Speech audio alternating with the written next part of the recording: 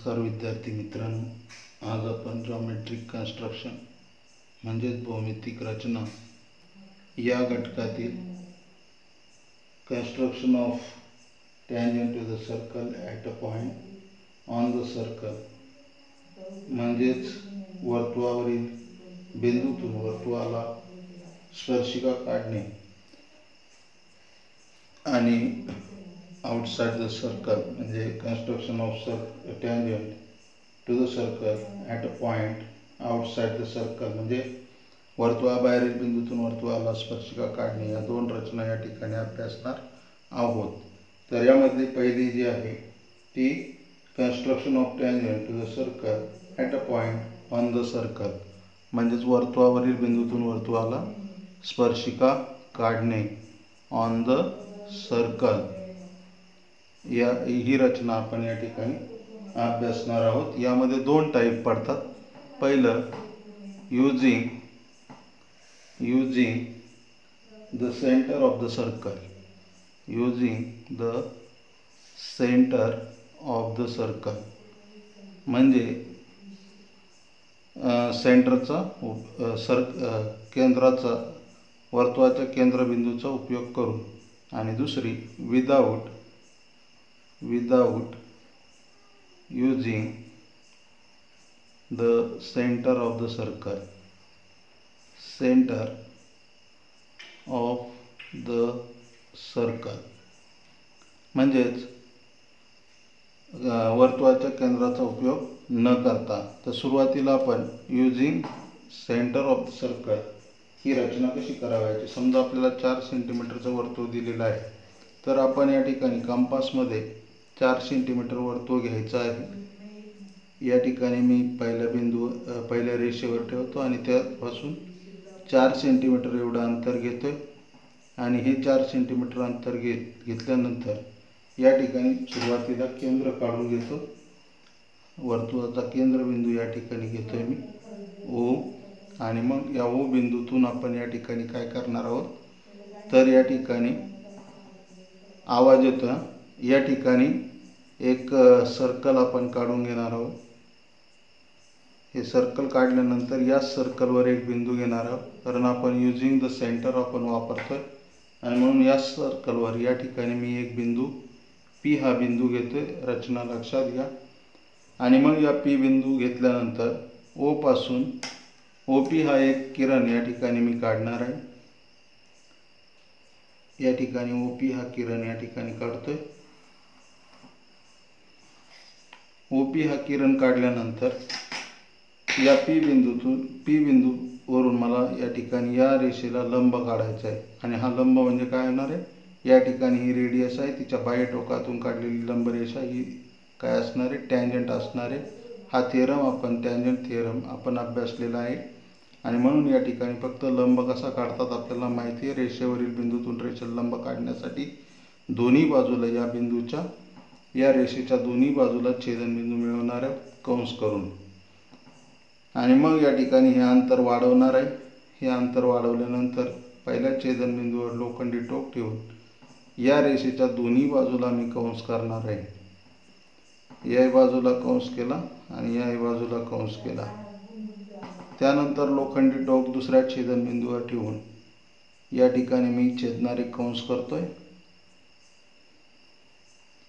आणि या छेदनबिंदूतून जाणारे जे रेषा असेल हे जे दोन छेदनबिंदू मिळतील ही जी रेषा आहे ही पी बिंदूतून जाते आणि हा काय होईल? मग या ठिकाणी टँजंट या ठिकाणी आपल्याला मिळणार आहे. तुमच्या लक्षात येईल या दोन्ही छेदनबिंदूतून जो बिंदू रेषा जाणार आहे ती पीमधूनसुद्धा जाणार आहे.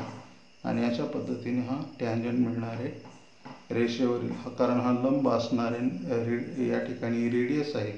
रेडियस जी आहे ती लंब मिळणारे या टँजंटला या रेषेला आणि म्हणून हा टँजंट असणार आहे. तर या ठिकाणी हा टँजंट आपल्याला सहज काढता येतो. दुसरा U without using the centre of the circle मी परत चार सेंटीमीटरचं सर्कल या ठिकाणी काढतो आणि परत अशाच पद्धतीने रचना कशी करावायची? ही या ठिकाणी आपण बघणार आहोत. तर या ठिकाणी चार सेंटीमीटरचं या ठिकाणी सर्कल सारखं काढायचं आहे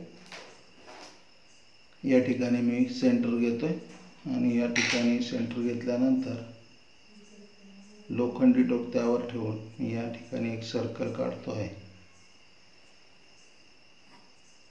ही कृती जशी सुरुवातीला केली तशीच कृती आहे.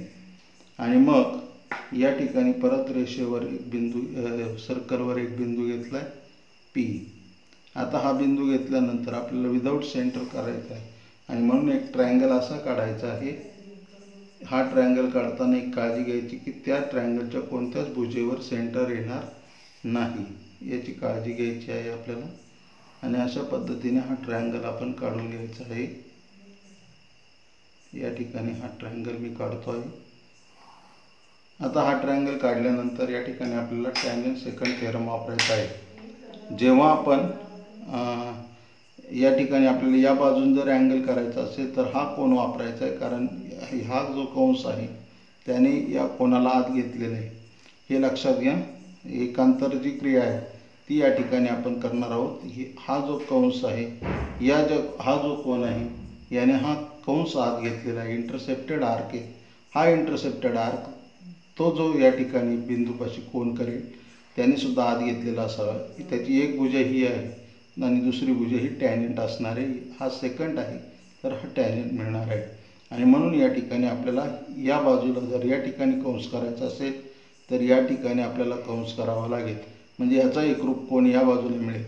जर एखादा या पी बिंदूला ही भुजा आहे पी बिंदूच्या ठिकाणी इथं जर कंस करायला गेला तर हे लक्षात घ्या याचा कंस या कंसाला छेदतो आहे.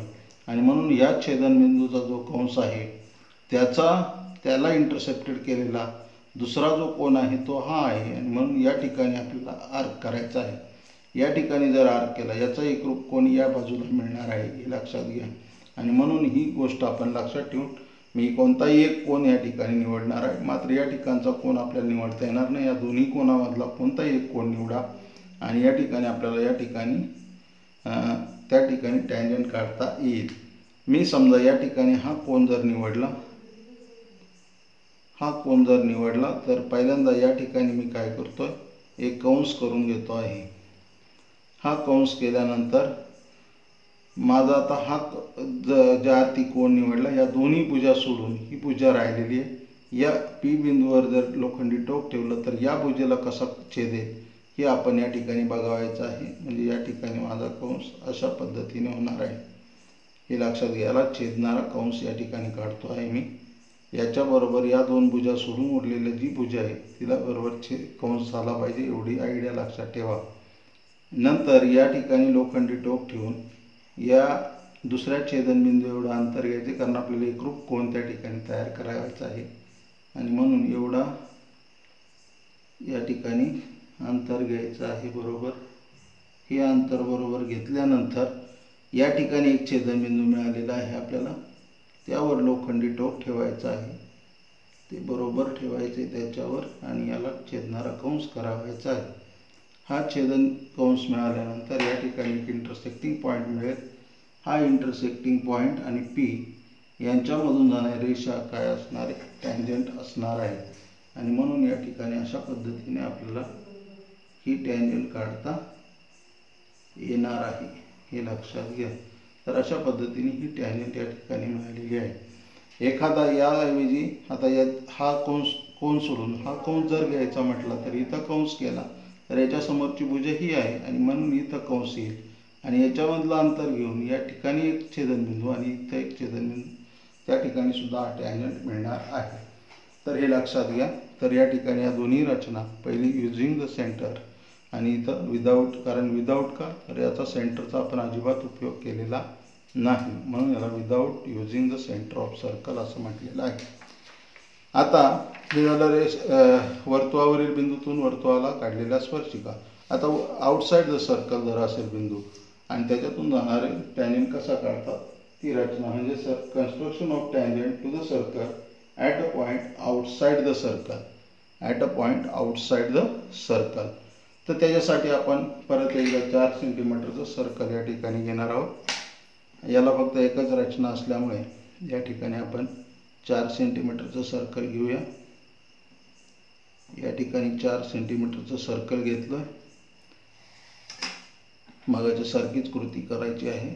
या ठिकाणी हा बिंदू घेतलेला आहे सेंटर ऑफ द सर्कल याच्यापासून या ठिकाणी आपण एक सर्कल काढतो आहोत. शक्यतो याला धरून काढायचं आहे. परंतु या ठिकाणी मला हे कंपास वेगळ्या पद्धतीचं असल्यामुळे ती सवय लागलेली आहे. या ठिकाणी सेंटर ओ आहे. ओपासून समजा हे चार सेंटीमीटरचं आहे तर आपल्याला सात किंवा आठ सेंटीमीटरवर बिंदू दिलेला असेल तर त्या ठिकाणी सुरुवातीला एक रे काढून घ्यायचा आहे म्हणजे किरण काढून घ्यायचं आहे. आणि त्यावर मग आता एक तर पट्टीच्या सहाय्याने किंवा कंपाच्या सहाय्याने आपण सात किंवा आठ सेंटीमीटरला जसं दिलेलं आहे समजा सात सेंटीमीटर दिलं आहे तर सातच्या ठिकाणी या ठिकाणी खूण करायची. आणि समजा हा बिंदूचं नाव दिलेलं असेल पी तर या ठिकाणी पुढची रचना कशी आहे ती लक्षपूर्वक बघा.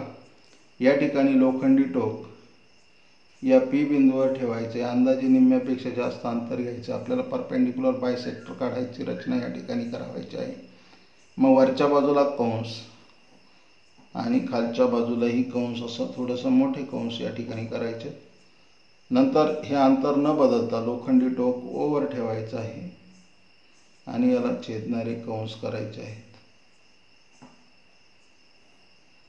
या छेदनबिंदूतून दोन्ही छेदनबिंदूतून जाणारी एक रेषा किंवा लाईन या ठिकाणी आपल्याला ड्रॉ करायची आहे.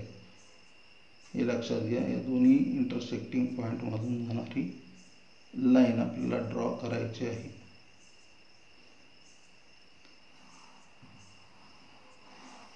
हा परपेंडिक्युलर बायसेक्टर झाला ओ पी या लाईन सेगमेंटचा.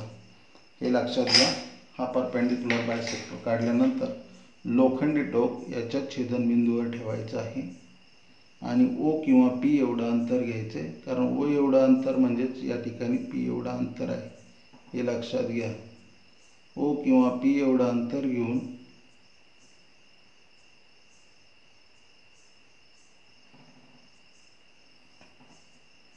या ठिकाणी एक सर्कल आपल्याला काढावायचं आहे. ओ किंवा पी एवढं अंतर घेतल्यानंतर बघा दोन्ही बिंदूतून गेले ओमधून पण गेले आणि पी बिंदूतून सुद्धा गेलेलं आहे. असं एक सर्कल मिळाल्यानंतर या ठिकाणी हे दोन बिंदू मिळणार आहेत छेदनबिंदू हे खूप महत्त्वाचे आहेत. यातमधून जाणाऱ्या लाईन्स जर काढल्या तर त्या काय असणार आहेत? टँजंट असणार आहे. मग या ठिकाणी मी काय करतो आहे सुरुवातीला या बिंदूतून जाणारी लाईन काढतो आहे ही जी लाईन आहे ही टँजंट मिळणार आहे. आणि दुसरी लाईन जी आहे ती या दोन बिंदूतून जाणारी लाईन ही टँजंट असणार आहे.